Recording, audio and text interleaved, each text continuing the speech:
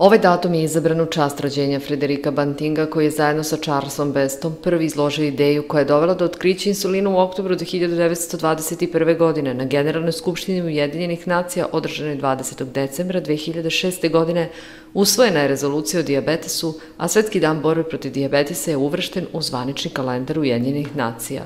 Zavod za javno zdravlje u saradnji sa Domom zdravlja i Crvenim krstom Požarevac organizovala je akciju za zdravlje povodom obeležavanja Svetskog dana borbe protiv šećerne bolesti, ali su sugrađani mogli i da vrše proveru krvnog pritiska i glikemije. Pravilna ishrana i fizička aktivnost jednako važna kao i sama terapija, odnosno lijekovi i inzulin.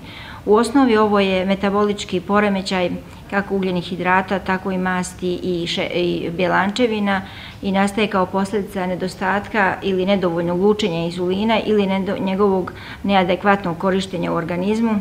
E, što se tiče e, nekih prvih simptoma koji bi mogli da ukažu na verovatnoću e, še, visokog šećera u krvi, odnosno šećerne bolesti, jeste ovaj, pretjerana žeđ, kao i pojačano lučenje, mokrenje, kao i noćno mokrenje, zatim pojačana glad, gubljenje telesnoj težini, suoća kože i svrab po koži, crvenilo, perutanje, zatim česte infekcije kod žena, vaginalne infekcije i sporije zarastanje rana.